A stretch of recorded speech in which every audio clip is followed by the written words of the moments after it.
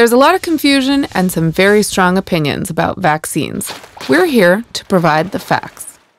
How do vaccines work?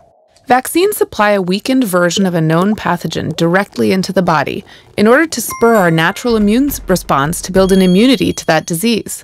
By triggering our immunity in a mild version, they ensure that we are protected against the real, more dangerous version of the disease. They further function to protect the community, as the more people are vaccinated, the better they work to ensure the disease doesn't spread among its most vulnerable members. Some vaccines cause mild short term symptoms, such as low grade fever, but these are signs that the immune system is bolstering itself against that particular disease. It means it's working. Are vaccines safe? Because some people say they cause autism or death. Vaccines are completely safe. In fact, they're the only way to protect your child from getting certain life threatening or disfiguring diseases. Vaccines do not cause autism. This was a crazy rumor started by a now discredited doctor, which has been disproven again and again by a mountain of studies involving millions of vaccinated children. Vaccines also do not cause mercury linked developmental delays. Nearly 20 years ago, a harmless type of mercury was used in vaccines, but because of public misunderstanding and outcry, since 2000, vaccines have been made without it. Like all medication, vaccines can be dangerous if they're expired or improperly stored, or if they're administered improperly, like, say, giving an oral vaccine as an injection or vice versa. But if so many people are saying there could be a problem, Maybe I should just stay on the safe side? There's only one safer side here, and that's the one where the entire world's population is inoculated against life threatening diseases. Haven't we eradicated some of these diseases already?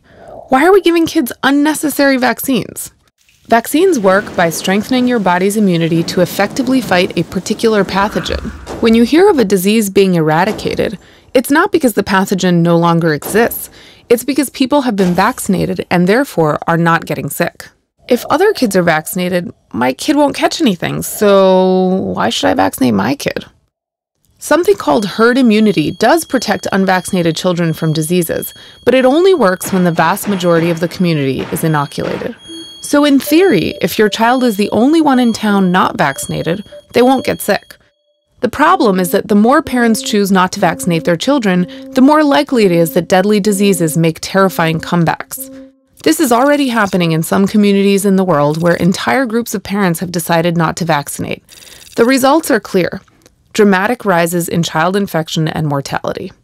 There's so many vaccines, even for some trivial diseases like chickenpox or the flu. Do kids really need them all? Yes. And so called trivial diseases in childhood, like chickenpox, can cause serious complications later in life. The flu is getting increasingly deadly every year. Protecting against these diseases is an important part of raising a healthy child.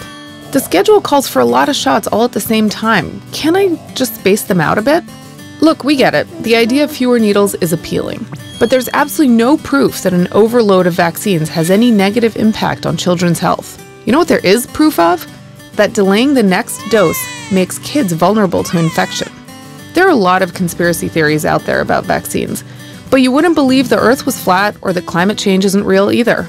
Hopefully. Medical science is as clear on this fact as almost anything else.